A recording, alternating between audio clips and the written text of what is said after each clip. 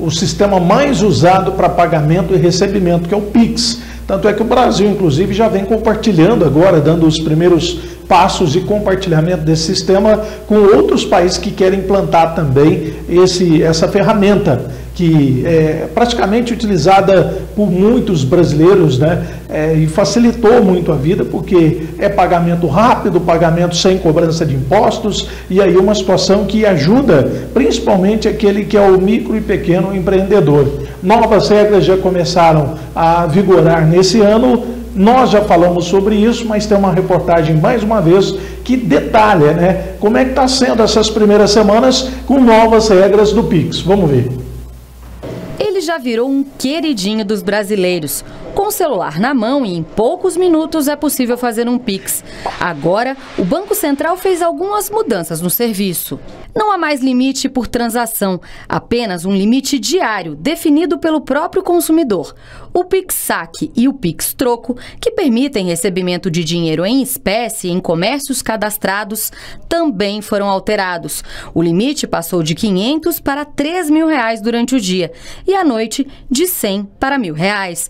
O horário noturno do Pix, uma medida de segurança também mudou. Agora, os bancos podem oferecer aos clientes o horário de 10 da noite às 6 da manhã. Os limites de transferência para contas jurídicas também sofreram alteração e agora fica a critério das instituições financeiras. Reginaldo é cabeleireiro e dono deste salão de beleza em Brasília.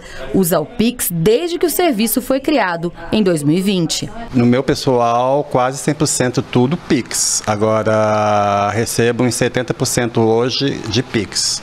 Né? Não estou mais recebendo quase cartão de débito. Agora, aumentando para que eu faça uma transação comercial de um valor mais alto dentro de um horário desse, eu acho muito bom.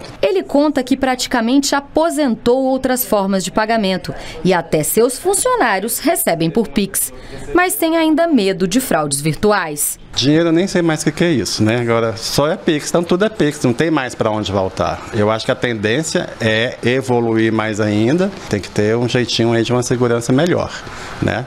Sei lá, exigir algo mais. A atenção com a segurança é um dos alertas do Instituto Brasileiro do Consumidor. Para o IDEC, mecanismos como bloqueio de transações consideradas suspeitas poderiam fazer o sistema ainda mais confiável. Desde o início da operação, o IDEC já defendia é muito robusto, internamente ele funciona muito bem, mas a parte vulnerável é a população, né, que opera. E por ser um, um, uma aceitação muito boa pela sua praticidade, o comércio eletrônico hoje se transformou num grande ambiente de fraudes. Então, eu entendo que o sistema bancário, o Banco Central, precisa desenvolver dispositivos contra pânico para que essas operações feitas sobre extrema violência possa ter é, um caráter de alerta que imediatamente já coloque essa operação em suspeição